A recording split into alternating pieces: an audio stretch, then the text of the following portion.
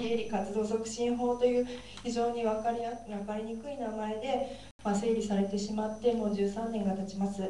であの特定非営利活動法人という名前をですね見るに、まあ、いつも活動していて見るにつけてやっぱり市民活動法人だったらもう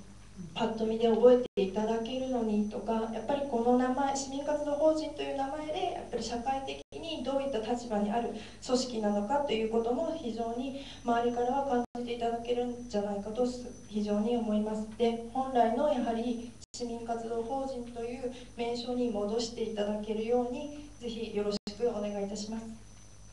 はいありがとうございます。まああのだからあの特定非営利活動法人私からもあのこの前先週宇部に行ってきたんですがあの宇部の市役所の方があの市長の挨拶ということで、名前を挙げてるんですが特定営利活動法人と言われてえー、あの王という話でまた違うところではですね非特定営利法人というのはですねあのもうむちゃくちゃという話で非営利組織法人がむちゃくちゃなんで、えー、もうこれはちょっと何とかしていただきたいというふうに決意を持っております。えー、続きましてですね、あのえー、今度はもやいバンク福岡、やはり福岡来られて、もやいバンク福岡で、えー、NPO 会計税務専門家ネットワークの末吉幸子さん、お願いします。福岡から来ました税理士の末吉と申します。今日は急なことであの飛行機も取れず、新幹線で5時間かけてやってきましたので私たちは普段、えー、会計税務面からの NPO の支援 NPO 法人会計基準の普及またあの個人的に NPO バンクの理事をしております私たちもあの NPO に寄付がもっと増えて NPO にもっとお金が流れるようになればいいなと思って普段会計の目を見てるんですが NPO はどうしてもこうお金が少ないところが多いというのが実情だと思いますで現在 NPO の会計はあの様式がバラバラであるだけでなく私たちのようにあの会計を仕事に会計を仕事にしている者たちにとってもとても難しくてこうとっつきものとっつきやすいとっつきすいません難しくてとっつきにくいものなんです。でもちろん NPO ってもあの会計はこう面倒くさいものというか、まあ、提出をしなければならないので仕方なくやっているというような感じになってしまっています。しかし本来 NPO にとって会計が市民に公開して寄付を得るために自らの自分たちの活動を数字を通して表現をしてそして情報を公開して寄付をしてくれた人に使い道を報告するそしてまた新たにこう誰か寄付をしてくれる人たちに情報を公開するためにとても重要な手段だと思います。そのような会計にするために去年市民参加で作られた NPO 法会計法人基準を NPO 法人の会計基準をぜひ NPO 法に盛り込んでいただきたいと思います。そして、えー、NPO バンクにも関わっておりますが融資の審査をするのは、えー、サラリーマンだったり企業経営者だったりあの審査などをしたこともない未経験のボランティアたちばかりなんです。ですのでせめてあの会計の様式だけでも統一したしていただいてこう NPO の活動を応援しようとしている市民たちの負担が少しでも少なくなるようにお願いしたいと思います。ぜひ NPO 会計基準よろしくお願いいたします。ありがとうございます。今ちょっと遅れですが、姫委員が来られます。一言あのお名前とご挨拶をはい皆さん皆さんこんにちは。え民主党参議院議員の姫井美子です。え97年 NPO 法ができる時にちょうど、え日本青年会議所の NPO を考える委員会でシーズの松原さんと一緒に、えずっとこの法律をどうやって、え運用していくかという話をしてまいりました。え今、え新しい公共ということで、え鳩山前総理の下で、えさらに、え NPO がこれから本当に、え活躍できるといいますか、え公共と同等の立場で、え動けるという大きな扉を開くことができる、え期待の中での今日の集会だと思います。皆様のいろんな意見を聞いて本当に、え皆様が、え活動しやすい、え寄付税制に、え変えていけるように努力したいと思いますのでよろしくお願いいたします。ありがとうございました。えではですねあの NPO 側の最終バッターで一番遠くから今日来ていただいた沖縄からですね来ていただきました。あの宇谷沖縄の近藤正孝さんお願いします。はい、えー、沖縄から参りました宇谷沖縄の近藤と申します。よろしくお願いします。えー、私どもはあの若者特にニート引きこもりでなかなか仕事に就けない方々の就労支援を主体として行っております。で、えー、なんで沖縄でニート引きこもりかと。言いますと某雑誌にもう3年も前に出ましたけれど沖縄というのはニート率がワースト1全国で一番多い。分かりますよね。みんなあんまり働かなくてもなんとなく暮らしていけてしまう、ね、大家族制度。さっきあの福岡の方にもやいっていうのありましたけどね。もやいっていうのは助け合いますし。でえみんなが何とかしてくれるからっていうことだったんですがだんだんそれができなくなった。で今困ってる人が増えた。じゃあ我々何とかしましょうということを今主にやっておりますところが、えー、認定 NPO 沖縄1つだけさっき北海って言いましたけどね。沖縄は残念ながら1つしかないんです。非常に厳しいという状態です。で、えー、まあ何とかしたいということですけれどもあのー、私も実はあの社団法人と両方やってるんですね。財源に困ってます。今日みんなあのそういう話ありました。じゃあどうしていくか。財あの失礼社団法人が国の委託事業をやってます。で NPO は民間財団から助成金それで最低限のことをやってその上でもう一歩何とかしたいなということを今手がけております。で、えー、今回の寄付ということですがあの最も沖縄らしいしかも楽しく明るく寄付ができるということで実はコーヒーの木のオーナーになってくださいという寄付を始めました。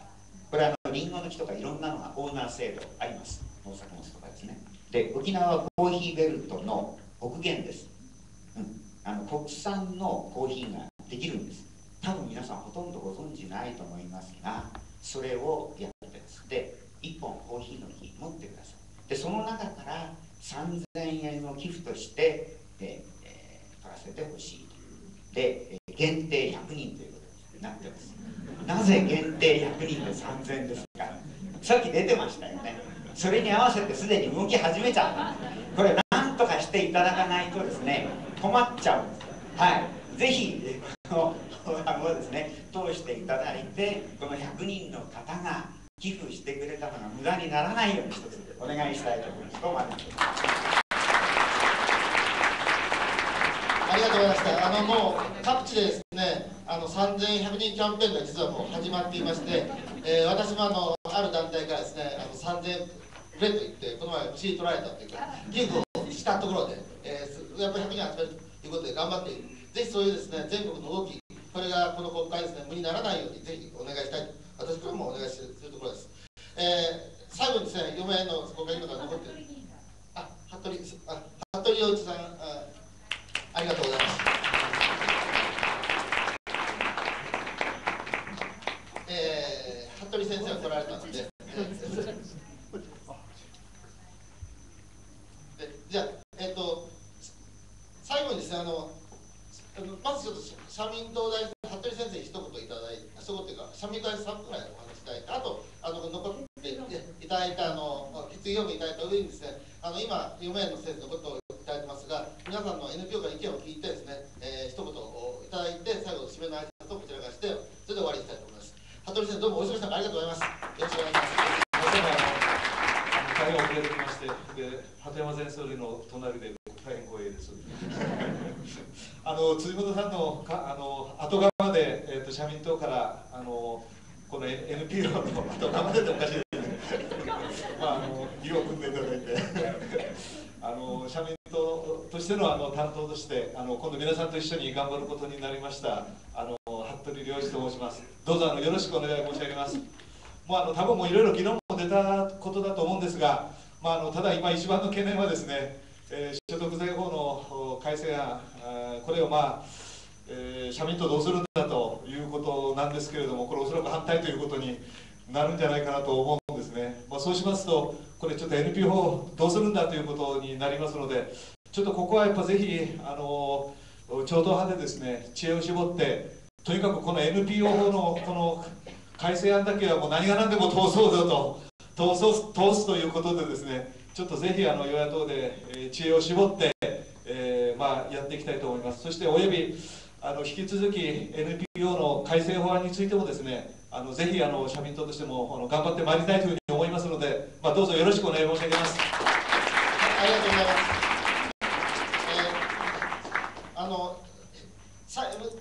お分かりのように今2つ法案が焦点になっています。1つはあの税制改正法案で予算関連法案ということで今も国会にかかっている法案です。これに税額控除とかですね3100人というのが入っていましてこれが、まあ、あのどういう形でかあなるか、まあ、今ちょうど審議されている真っ最中これが通らないとさっきの沖縄の方とか多くの方の3100人とか税額控除税額控除に向けて動き出しているところもありますから、えー、そういうところが無になってしまうもう一本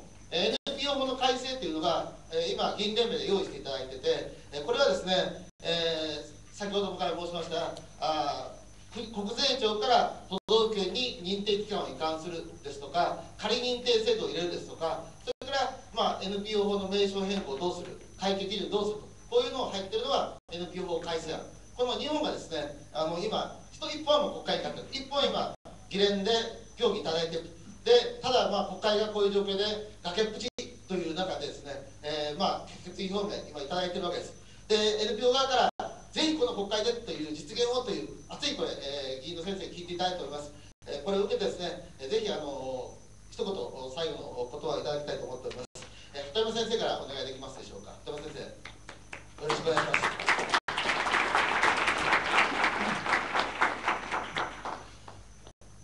大変駆け足に皆さん方からお話を伺いました。しかし端的に皆様方が要領よくお話をいただきましたのでかなりクリアになって私どもの頭の中に入りました。やはり方向性私どもの考え方自体は間違ってなかったなと思っておりますし特に寄付税制税額控除方式を早く実現をしてもらいたいというお気持ちが一番大きかったかなそのようにも思いますし認定 NPO が沖縄でたった一つしかないと北海道は4つで4倍4倍でもない でも4つしかないと1600分の4ですからあまりにも寂しい話でございます。その認定 NPO をもっと幅広く増やしていくということもまさに急務であります。その意味でも3000円かける100人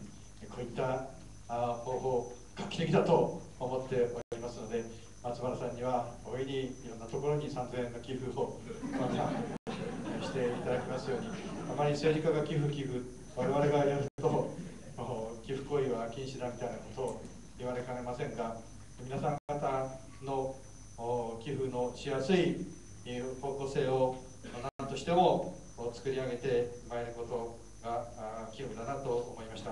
ただその他に名称変更のお話とか会計基準のをしっかりやらないといかんという話も多くの方から伺いました。その通りだと思っております。ただ名称が果たして、えー、どこまで変更がこのような時にできるかどうかと。まずは実態を変えることの方が先かなと。そのようにも思っておりますが少なくとも会計基準だけはですね、基本的な形で統一ができるように姿を示すことがよろしいかなとも思っておりましてそれが法律的に間に合うのかあるいは様式を基本的に統一をさせていただくことからスタートするのかその辺は法案がとにかく間に合って通さなければいけませんからそのための時間との勝負だということでご認識していただければと思っております。え皆様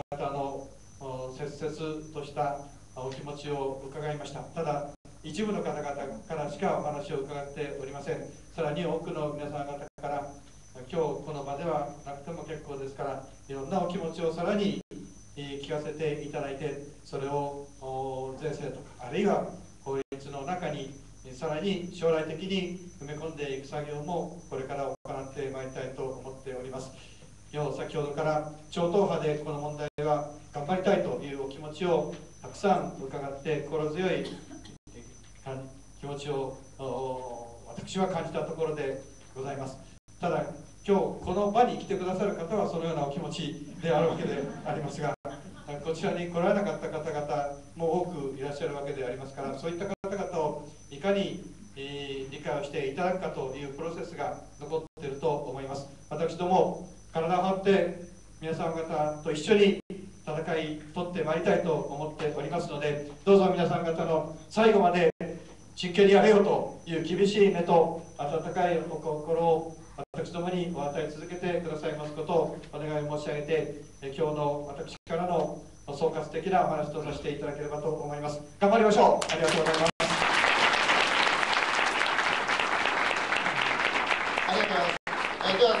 まして中道先生、えお願いできますでしょうか。次の先生一番最後に。はい。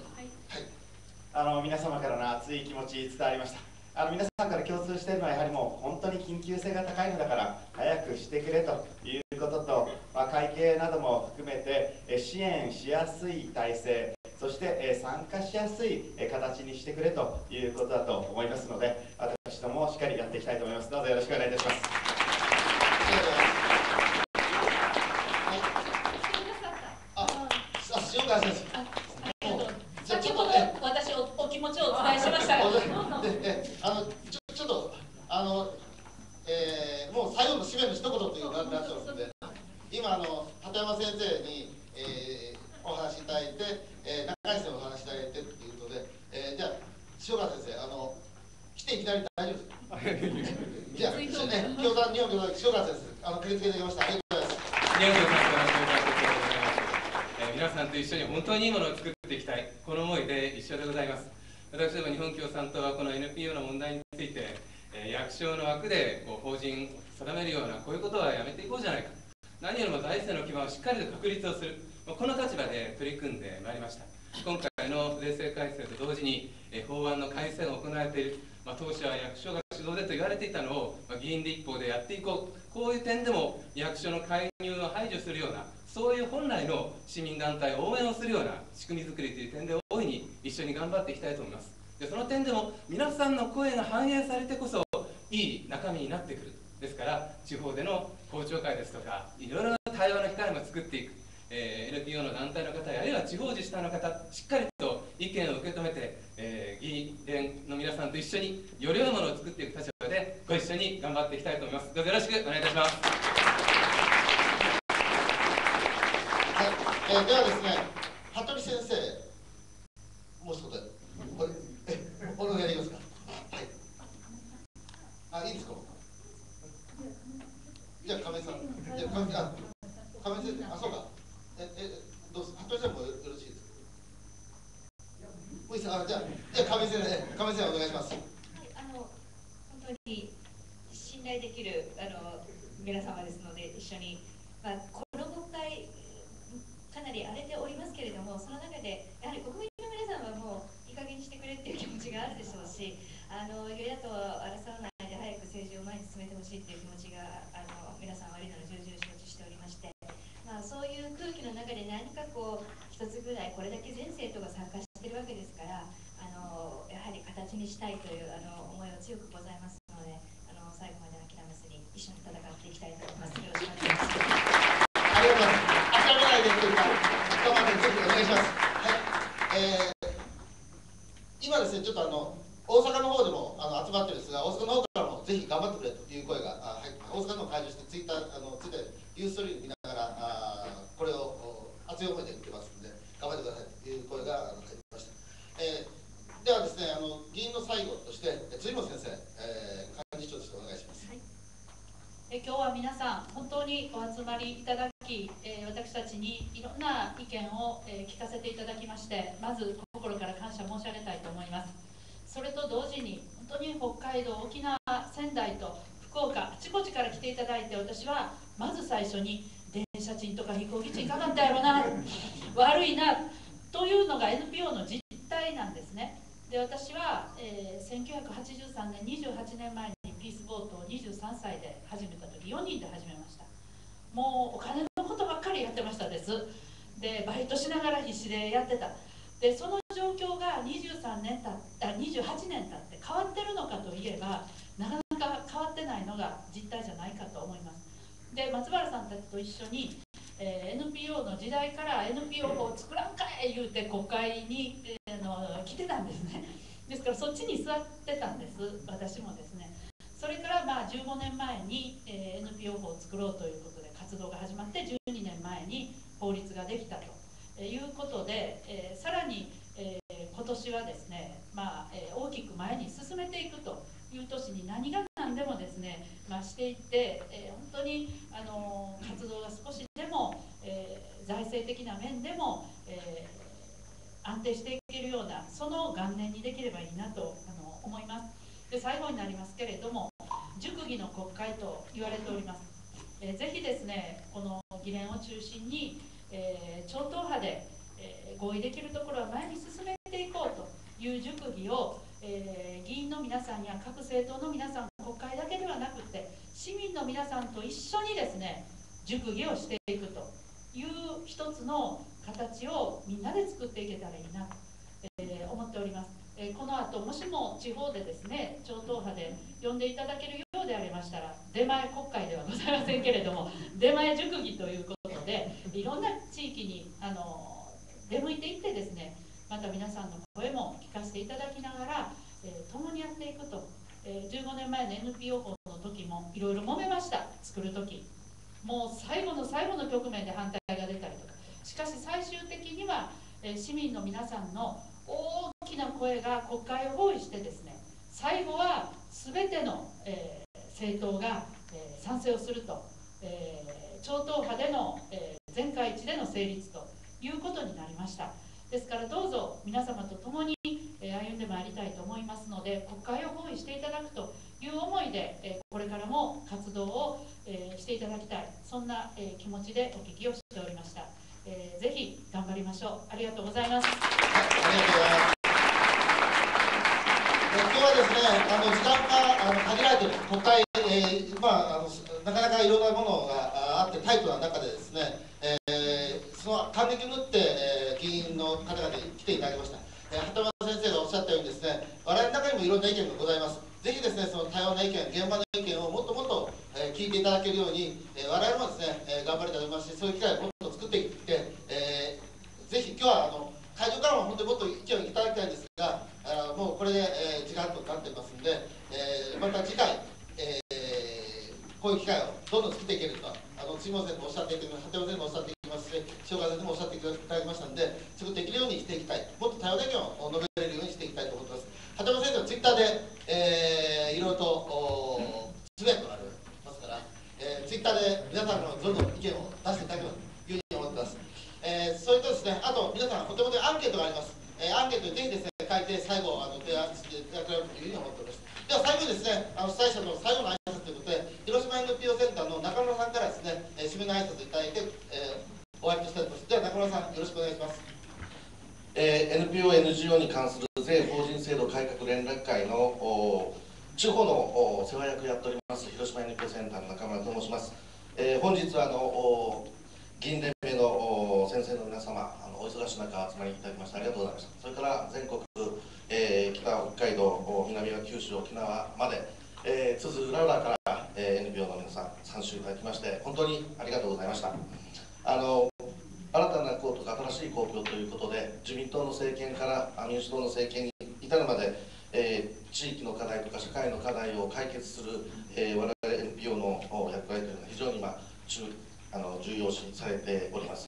えー、担いと担い手として、まあ、責任を果たしていくためにも基盤強化の問題というのはあの避けておりません、えー、ぜひ NPO 議員連盟の先生方にはあのぜひこの法案、えー、なんとかあの通していただけるように。そしてご参集いただきましたあ皆様には各地域に帰っていただきまして NPO の意見を取りまとめて国会のまさにあの包囲をする覚悟で、えー意見を取りまとめていただければと思います。えー、中国地方には毛利元就という武将がいますけれども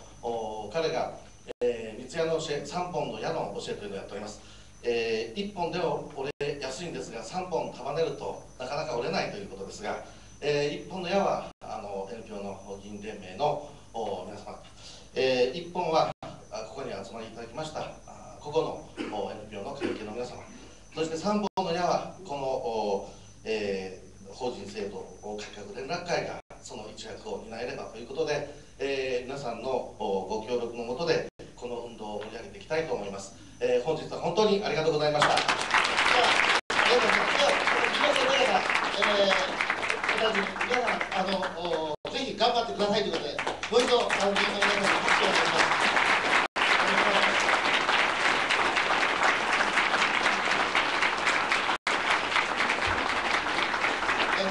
せんあのこれをもちましてあの本日の緊急集会終わらせていただきます、えー、大気の中皆さんあの立ち見資料も足りなかったですがありがとうございました。これを力に、えー